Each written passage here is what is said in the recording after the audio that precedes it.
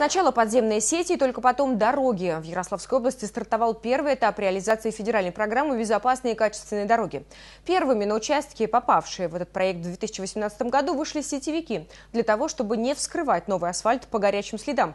Подготовку коммуникации необходимо провести до начала дорожных работ, рассказывает Сергей Курицын.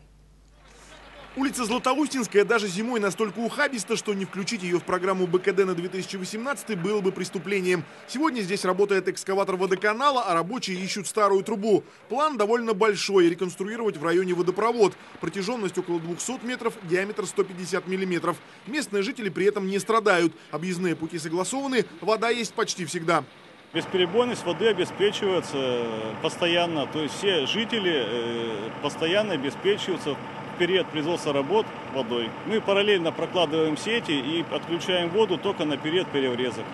Подобные работы на сегодняшний день в городе ведутся на 9 улицах. Пять объектов уже отремонтированы. Всего же водоканал до старта основной части программы БКД планирует выполнить работы в 30 местах по всему Ярославлю. Для того, чтобы обновленные улицы столицы Золотого кольца служили как можно дольше, учитывается весь негативный опыт 2017-го. Предварительное исследование запланированных к ремонту улиц дает четкий ответ, где под землей есть проблемные коммуникации. Это не только трубы, поэтому в работу включаются все сетевики. Синхронизация по рабочим графикам с организациями Департаментом транспорта региона уже достигнута.